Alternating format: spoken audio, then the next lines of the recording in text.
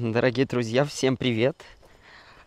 Мы сегодня находимся, ну вернее еще не находимся, идем к морю по территории не обычного такого поселка, который некогда был, а, ну, являлся пансионатом, хотя именно сейчас мы идем по территории самого поселка, а, непосредственно у моря будет пансионат, поселок этот с такой с таким романтичным названием Гизель-Дере, что в переводе с азербайджанского э, означает красивое ущелье. Но ущелье действительно красивое, вы это можете наблюдать. Вот мы спускаемся в самый-самый низ. Вот, поэтому с азербайджанского, как я уже сказал, данная местность переводится как «красивое ущелье». Александр Матвеев пишет «Добрый вечер, сегодня 195 лет со дня рождения Александра Бутлерова». Спасибо большое, Александр Матвеев, э, спасибо большое, добрый вечер тоже, конечно же. Поставьте, дорогие друзья, лайк данной трансляции. Сегодня у нас, знаете, такой тест, тестовый стрим, расскажу вам про вчерашнее ну, тестовый стрим, конечно, я постараюсь показать красоту, если у нас не возникнет э, никаких технических сложностей. Дело просто в том, что вчера, вчера вы видели, э, какие были безумные прерывания со стороны э, моего приложения. Сегодня, собственно, анонсируя трансляцию, вы, наверное, заметили, что нету картинки. Нету картинки, хотя я всегда ставлю, на мой взгляд, красивые картинки э, для анонса, но не тут-то было, как говорится. Мне выдало приложение объявление, что, мол, ну, какую-то ошибку что меня такой ошибки у меня, кстати, никогда не выдавало. И мне непонятно, что у меня с технической стороны вопроса не так. Поэтому сегодня мы будем с вами это изучать, пока спускаемся в ущелье, посмотрим, насколько нас хватит. Посмотрим замечательную природу этого поселка. Надеюсь, не встретится нам медведь, который, который э, здесь живет, в этих краях. Он здесь живет и, э, собственно, орудует. Медведушка такой небольшой, ему, насколько я наслышан, месяца 4 всего лишь. Но тем не менее. Тем не менее, 4 месяца, он, знаете, наверное, в холке, как я буду, ростом. Но это как бы тоже не очень есть хорошо. Да, сегодня открыт участок Солнцевской линии до аэропорта Внуково. Артур, привет. Кстати, да, э, свершилось, как говорится. Мне сегодня, вот сейчас буквально за минуты две, наверное, до стрима позвонил Юрий и сказал, Санек, э, типа, все, открыли, говорит, станция Внуково, правда, если честно, не, ну, аэропорт Внуково не очень-то и красивая, Пыхтина ему понравилось больше. Мост, как правильно заметил Артур, э, крытый, поэтому, поэтому как-то так. Слушайте, здесь в ущелье связь, походу, лучше, чем у нас э, была в в Лазаревском. Кстати, насчет Лазаревского. Я же вчера зря времени а, даром не терял. Погуляв с Лилией немножко, а, я решил сделать следующее. Да, мы погуляли, ну не то, что немножко, мы съели, я съел два чебурека, а, мы побеседовали, от души поговорили. Лилия, кстати, передаю огромный привет э, и хочу пожелать ей счастливого пути, потому что у нее вчера был последний день э, нахождения в Лазаревском. Она сегодня, я так понимаю, в дороге, но я надеюсь, если она нас пересмотрит в повторе, то, конечно же, мы ей пожелаем доброго дня, э, доброго дня, до, хорошей поездки. Вот. И что касательно что касательно э, Лазаревского, то я снял, конечно, там видео. Снял э, видео, э, как я гулял по вот этому парку, который мне не удалось вам, к сожалению, показать. Несмотря на то, что уже было пол одиннадцатого, несмотря на то, что было пол одиннадцатого, но тем не менее там все светилось, все горело разноцветными огнями, и, конечно, смотрелось это очень хорошо. Такая, знаете, молчаливая прогулка, хотя не совсем молчаливая, там пару моих комментариев, конечно, есть, а так в целом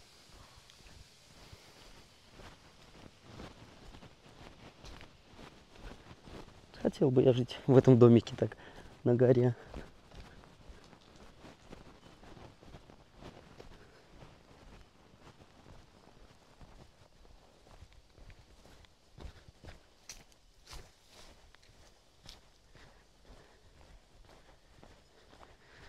Так, а у нас путь пролегает вот туда прямо. Мы идем прямо к морю. Надо, кстати, было назвать не Гизельдере, а дорога к морю. было бы намного, мне кажется, лучше. Тем временем идем туда. Как там Внуково открыли, кто знает. Да, совершенно, Глеб, огромный привет тебе, добрый вечер. А, Внуково открыли. Внуково открыли.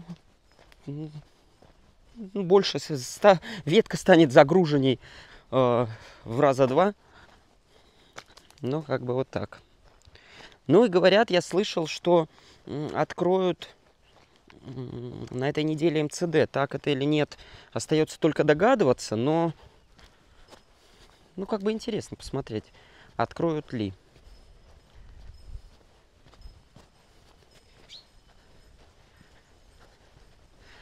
Слушайте, все зеленое, конечно.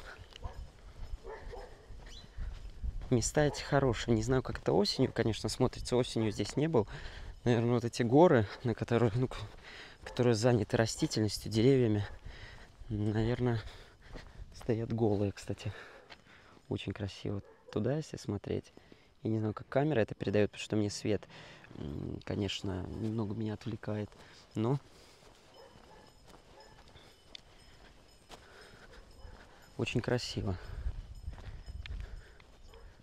Вот эти слои камней тоже потрясающие. Вернее, горные, горные породы.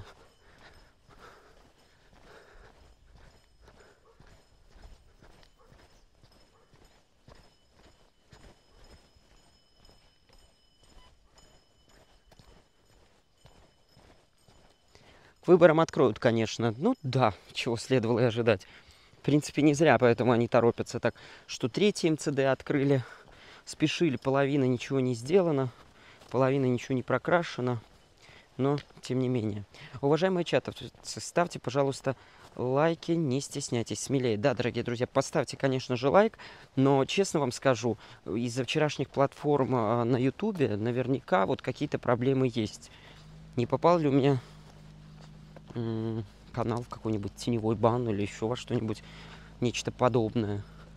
Потому что сегодняшнюю... Я жаль, жаль не заскриншотил, я бы так выставил на ваше обсуждение э, скриншот с этой ошибкой.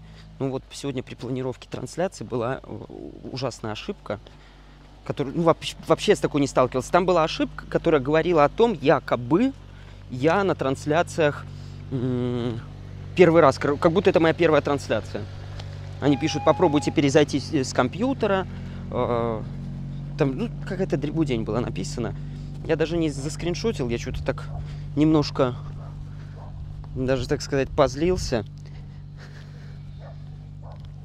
Немножко позлился и заново начал. Потом смотрю, а, и в итоге оно написало, что оно не загрузилось, но потом я смотрю в анонсы, в анонсы анонс есть. Думаю, что за фигня.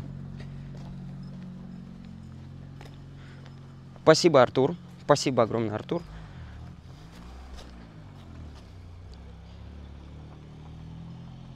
А, был там народу много было. Сейчас что-то вообще нет народа. Я понял вас. Я понял. Вот такие дела. Ну, будем смотреть. Будем смотреть. Возможно, я же хочу сделать еще э, трансляцию со скалы Киселева. Просто, вы знаете, меня что-то соблазняет туда поехать. Я хотел, ну, вернее, у меня, я помню, что раньше там не было связи. Но сейчас, если здесь даже в Гизельдере есть связь, поверьте, а тут ущелье, которое вниз, наоборот, идет не вверх, как та скала, потрясающей просто красоты. Здесь, наоборот, ущелье идет вниз.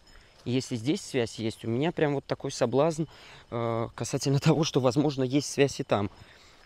Поэтому хотелось бы, конечно, это испробовать.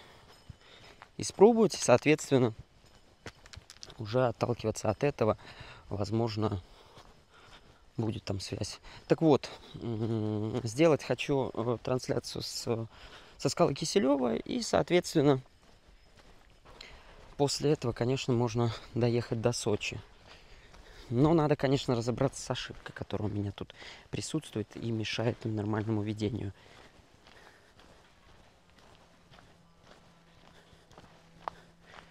А почему название такое? Гизельдере? Ну, это с азербайджанского переводится как «красивое ущелье», ущелье среди гор. в принципе, что вы можете наблюдать. Много зелени, вот тут, мне кажется, если кого-то... Не знаю, почему я, когда иду вот ровно по этой дороге, сейчас с вами иду, когда смотрю вот на те горы, вот просто вот обратите внимание.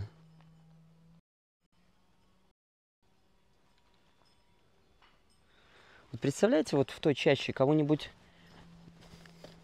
грохнуть, вот, и там оставить. Мне кажется, никогда не найдут. Ну, правда, вот как, как можно до туда вообще добраться? Мне кажется, это невозможно. Или туда, например, наверх. Потрясающей красоты горы. Вот кого-нибудь прибить, и правда не найдешь человека. Ну, потому что, во-первых, чаще туда не проберешься. Ночью здесь вообще страшно. Это очень красиво, да, согласен. Я вот все время переживаю, как передает камера, да. Потому что вживую ты это все смотришь. Я, я никогда не забуду, когда я вот приехал сюда, э, сюда к Татьяне, где я нахожусь сейчас, и когда, я помню, э, супруг Татьяна Владимировна Александр мне говорит, э, Саш, посмотри, вот там море. И у меня такие ощущения были, вот прямо аж дух э, захватило, потому что море, вот перед тобой бескрайняя, э, бес, бес, бес, бескрайний простор воды. Ну, как бы, а с участка, где находится дом Татьяны Александр, там вот море как раз таки видно, очень красиво. Прям очень красиво. Прям такой живописный вид. Каждое утро просыпаешься и видишь просто отличную красоту. Саш, что за мысли? О, вот такой мини-ларечек.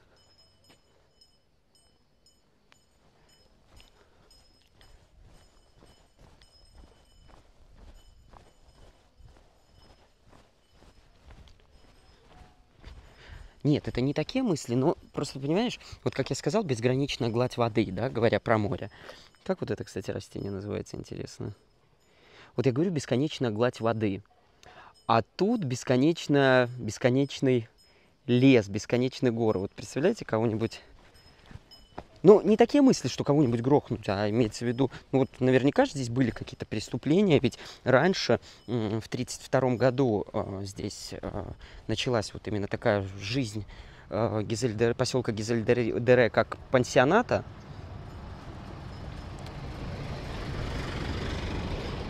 Потому что вот именно в, ну, в 1932 году, недалеко прям от самого моря, на берегу реки, река тоже одноименная Гизельдере, открыли дом отдыха молодежи. Вот именно с 1932 года и началась вот эта вот жизнь.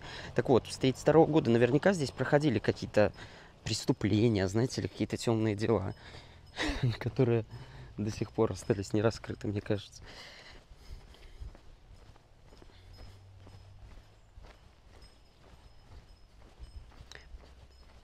Кстати, как я уже вот и сказал, что в 1932 году, да, э, вот недалеко от моря, куда мы сейчас и направляемся, мы идем прямо к морю.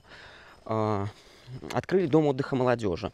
Потом э, стали возводить э, там подсобные различные, да, служебные помещения, новые корпуса для отдыхающих. Разбили красивый парк, ну, 32 год, сталинское время, сами все понимаете. Это вот со сталинских времен остатки сталинского былого, так сказать, Э, великолепие, можно, если так выразиться. Там есть еще корпуса, корпуса остались, навер, наверняка они частично работают, не знаю. В этом году я прямо рядом с ними не проходил. Но интересно было бы, конечно, посмотреть. Может быть, сейчас мы и заглянем хотя бы рядом, там прогуляемся. Вот, так вот там разбили красивый парк был, э, различные там скульптуры, такие садово-парковое искусство, фонтаны. Ну и вот тот дом отдыха, дом отдыха молодежи, он постепенно стал пансионатом с, одноименным названием Гизельдере. И, кстати, территория его занимала 9,5 гектар, что тоже как бы немало. Поэтому... А в лесу, кстати, за пансионатом, ну, чуть повыше, построили пионерский лагерь. Здесь он тоже находился, кстати, места потрясающие для лагерей. И я так понимаю, река вот шла внизу ущелья. Там сейчас какое-то просто каменное дно. Я вот, вот вижу два парня там вот. Видимо, местные жители ходят, гуляют по руслу наверное, бывшие реки, но это мое предположение. Вот, и, конечно же, после постройки пионерского лагеря позже появились и жилые дома, жилые постройки, жилые домики, жилые домики поселка Гизельдере.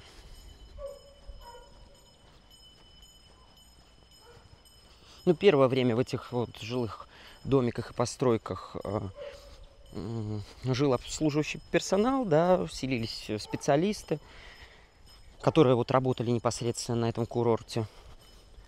Но вот на данный момент, конечно, э, сам поселок э, встречает нас, конечно, заброшенными строениями по большей части. Что-то работает, потому что я когда на электричку сюда спускаюсь, вот я ехал в Лазаревское, я спускался именно шел этой дорогой. И в некоторых местах я, конечно, слышал, там какая-то музыка, какая-то все-таки жизнь идет, но, конечно, от былого, так сказать, прежнего великолепия не осталось и следа. Что там звенит? Это колокольчик у Татьяны Владимировны звенит. Просто я же говорю, здесь живет медведь, а как вы знаете, чтобы медведь а, испугался, если он будет вдруг тут, он должен какие-то звуки нечеловеческого происхождения увидеть. А вот что вот это, мне сложно понять, какой-то фундамент. Да, какой-то фундамент, какая-то постройка.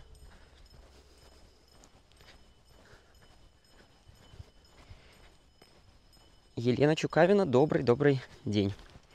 Кстати, слушайте, здесь битрейт 10 тысяч. В Лазаревском и сотню не набирал, а сейчас 10 тысяч. Ну, еще у меня, знаете, предположение, если касательно вчерашней истории, почему э, не шла... Ой, как жалко, там так красиво, мне так хотелось с вами этим поделиться. Это хорошо, что я записал видео. Его, в принципе, особо монтировать не надо, потому что пешая э, прогулка без комментариев, ну, в принципе, так как такового монтажа не требует. Ну, какие-то там моменты, может быть, чуть-чуть подрезать стоит. А так, в целом, ну, площадка там с этими уличными тренажерами. Да, здесь такой еще воздух раз, разряженный. Ну, мне, мне он вот, кстати, такой воздух очень подходит. Помните, я как-то говорил, когда по Москве мы ходили, вот, что-то я переустал, что-то и трансляции меньше стали идти и так далее. А сюда приехал, и как-то вот у меня прям, несмотря на то, что я приехал больной, заложенным носом.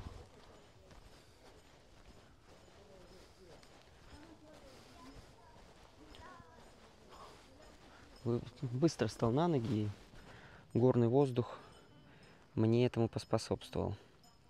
Я напишу потом отзыв на видео. Да, Александр, если оно не прервется. У нас, я говорю, что сегодня больше такой тестовый стрим. Спасибо большое, если, если напишешь, конечно, отзыв. Потому что, вот знаете, вот вчерашнее видео, я, конечно, не расстроился, потому что девушка написала э, правильные вещи.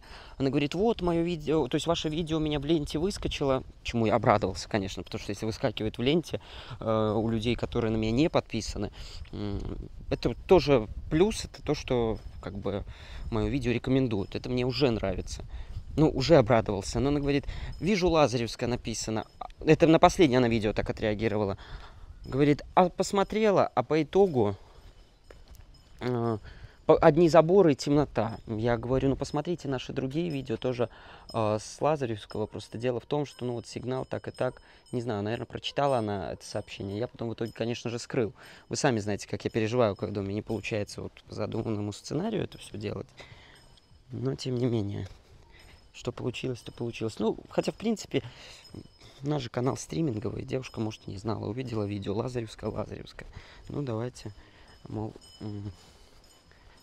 зайду, посмотрю, действительно. Я тоже бывает, кстати, некоторые вещи, я помню, когда из Туапсе, ну, вот, пять лет назад или шесть это было, э, отдыхал здесь у Татьяны, у Александра, а потом уехал домой, и через год, может, через полтора, ну, тоже вспоминал, естественно, и в интернете вот эту вот карту смотрел, улицы вспоминал. Ну, вот такое бывает, знаете, ностальгия. Я так предполагаю, что у этой девушки тоже, которая решила посмотреть мое видео, тоже какая-то вот ностальгия, вот, мол, Лазаревская.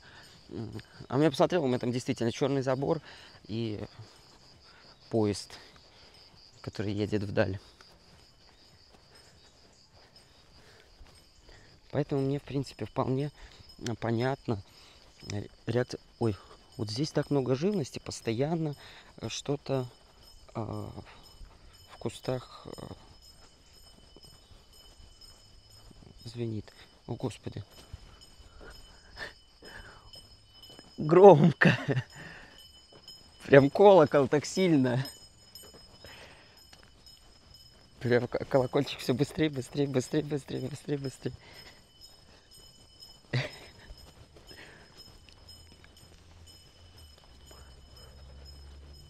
Это я не вам, дорогие друзья. Это я с Татьяной говорю, что очень-очень громко. Извилистая дорожка. Все ближе и ближе нас приближает к морю. Здесь, конечно, как вы можете уже догадаться, да, судя по, по истории про пансионат, который я вам говорил, вы наверня, наверняка уже догадались, что, что и пляж здесь не оборудованный. Но нам, конечно, он просто поближе, поэтому мы сейчас придем на пляж, я покажу вам немножко моря, покажу остатки былого. Там даже была скульптурная композиция прямо непосредственно перед выходом к морю. Но ее кто-то с, э, с сделал. Вот. Или, может быть, когда море волновалось, ее убрало, так сказать. Видите, у нас не только мы показываем э, пляжи, там, допустим, действующие, да, благоустроенные, мы показываем вообще местность. Я, я не люблю показывать вот только Прям нет, ну знаковые места это, конечно. Ну, Туапсе мы вроде практически все посмотрели. А, привет. А, Александр Беляев пишет, собираешься ли ты когда-нибудь съездить в Кисловодск? Спасибо за стримы с Черноморского побережья. Прям ностальгия по тем местам до сих пор с теплотой вспоминаю, как ездил в прошлом году туда. Спасибо огромное, спасибо, Александр, за такой вопрос. В Кисловодск я очень хочу. Мне все говорят, что мне там понравится. А моя подружка Люда, а, моя подружка Люда и по совместительству наша зрительница. Она э, самородом с Кисловодска. Ой, как она мне, конечно, про, про Кисловодск рассказывала. И я сам смотрел. Гоша, Сашенька, а когда в Королев все-таки? У нас пока все зелено, красиво. Когда? Любим тебя. Спасибо, Гоша, огромное за э, поддержку канала. Спасибо большое за э, сообщение такое. Когда в Королев? Как приедем в Москву? Обязательно съездим, потому что вот до поездки в Туапсе у меня как раз планировалась именно поездка по, ну, думаю, осень начинается, надо начинать уже окрестные города Москвы, да, по выходным хотя бы, там, суббота-воскресенье, условно, допустим, суббота Дмитров, воскресенье Сергеев Посад, ну и так далее. А, а всю неделю, если там вести стримы, то, конечно, непосредственно по самой столице. Поэтому, поэтому обязательно съездим, и спасибо вам за приглашение. Я про Королев помню. Про Королев и Павловский посад нам тоже постоянно ну, систематически оказывает поддержку и тоже приглашает э, в город, э, в этот город, в этот прекрасный подмосковный город. Поэтому мы обязательно... Города Подмосковья не проблема посетить, потому что, потому что это недалеко. Поэтому обязательно, обязательно посетим. Валентина Усольцева пишет. Всем приветик. Добрый-добрый вечер. Спускаемся к Гизельдере наслаждаемся солнцем и теплотой.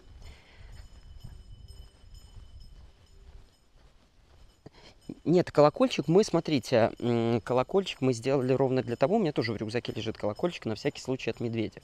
Потому что, ну, как бы шутки шутками, конечно, я честно скажу. Э, ну, медведь здесь ходит, его видят, и потом он куда-то пропадает. А здесь, как вы видите, настолько зеленая местность, что ну, можно просто-напросто нежданно-негаданно встретить, встретить медведя. Поэтому я не соглашусь, что как бы, мы ходим с колокольчиком в целях безопасности.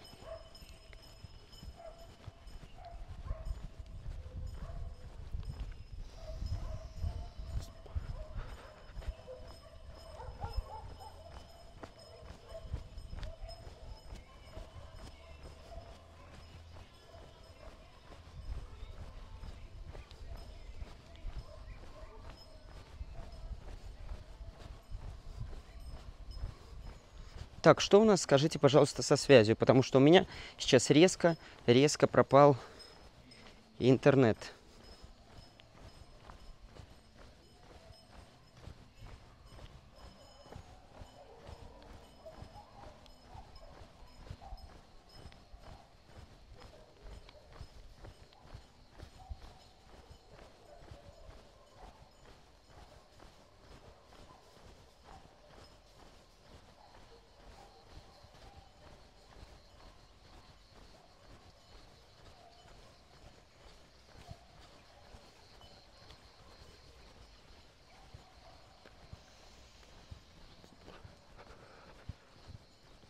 Ох, ну неужели опять?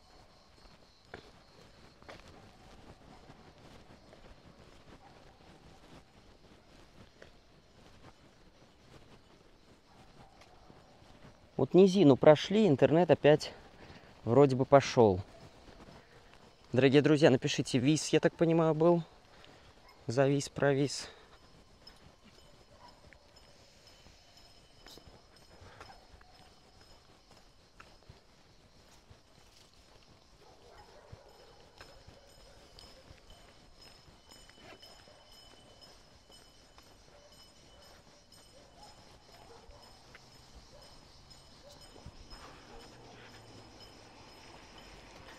Со связью, но идет с перебоями.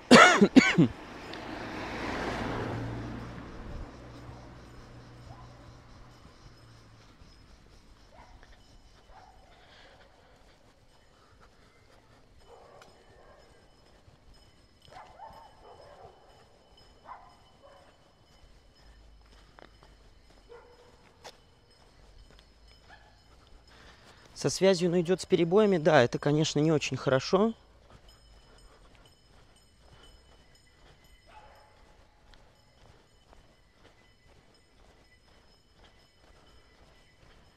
Чего я больше всего и боялся. И знаете, больше-то, чем больше проблем со связью, тем больше у меня вопросов. А, проблемы со связью из-за того, что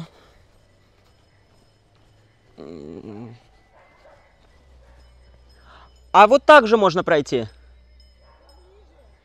Ближе?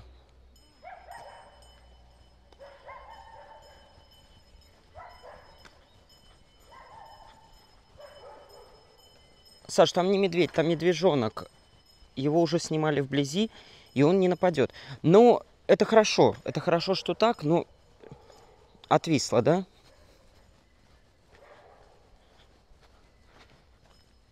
У меня вот все равно показывает, что зависло.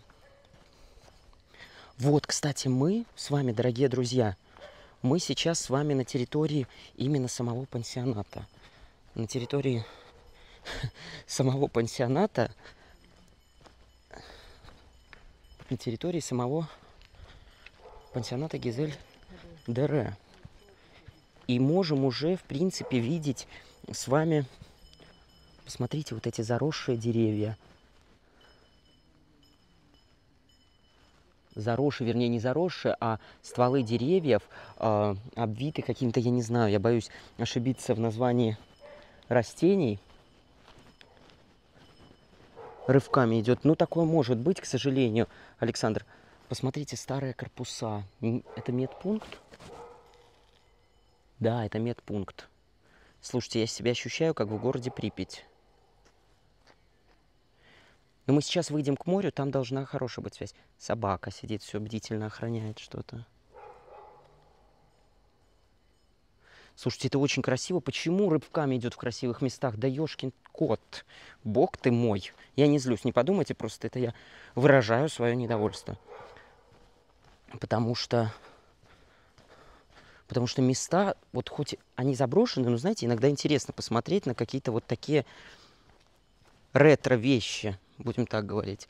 Помните, я вам говорил о фонтанах, которые здесь были? Здесь же был парк. Вот фонтан, Конечно же, не рабочий, видимо, какая-то скульптура здесь была. Здесь наблюдается.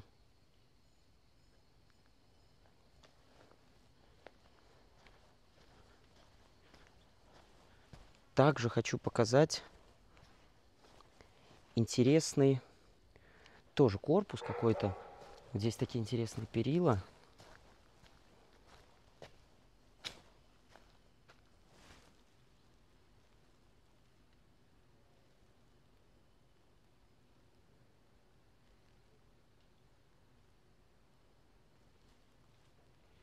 Виснет, как было в Нижегородском метро. Э, и, так, я понял, как в Нижегородском Кремле и в метро.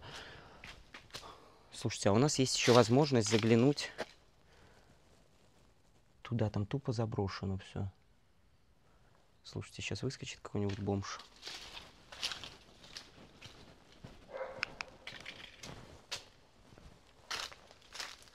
Да, конечно, все в запустении, к большому сожалению.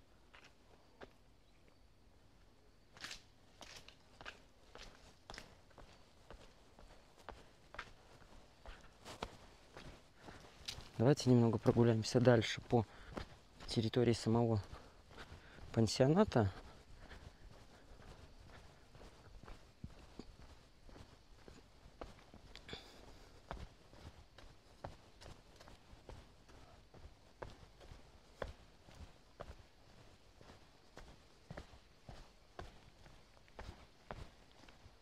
Слушайте, какой красивый домик.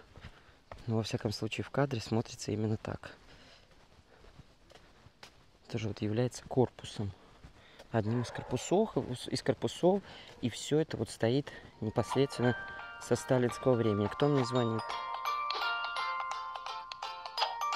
А это не звонят, это я. Слушайте, я понимаю, что шло все с зависаниями и провисаниями, но очень жаль.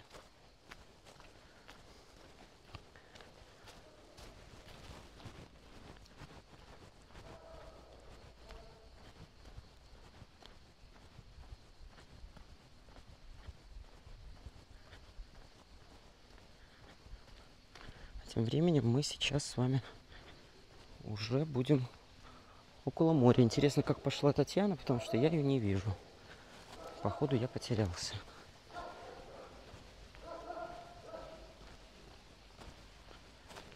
Но мы уже непосредственно практически у моря, потому что мы сейчас выйдем прямо к железнодорожной станции практически. Саша, пойдем к морю, а то будет конец первой серии.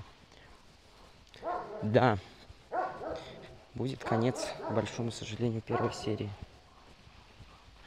Сейчас идем. Тут есть магазин продукты. Мы идем к морю, мы уже практически, практически пришли.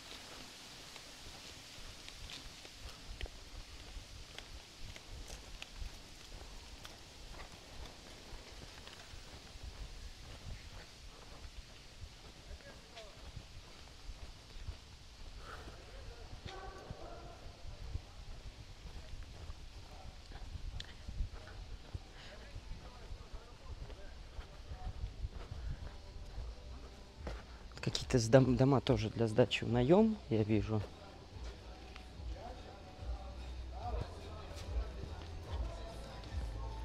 Уже непосредственно у моря, конечно, есть различные заведения. Так теплится, конечно, здесь пляжная жизнь, но не так, как она должна, конечно же, быть в полном размере. Но иногда полезно погулять по таким местам, чтобы во всяком случае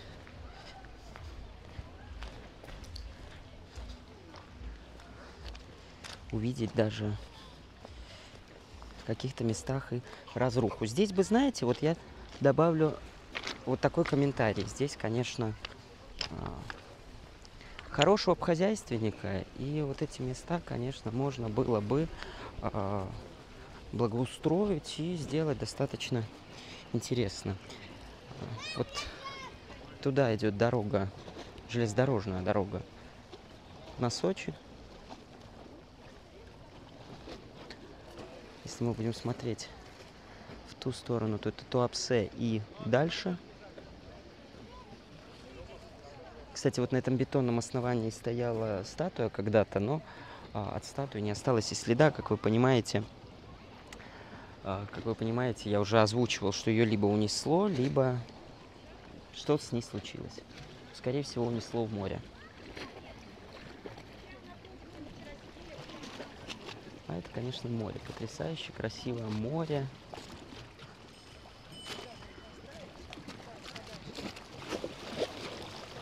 Которое мы можем смотреть и лицезреть вместе с вами.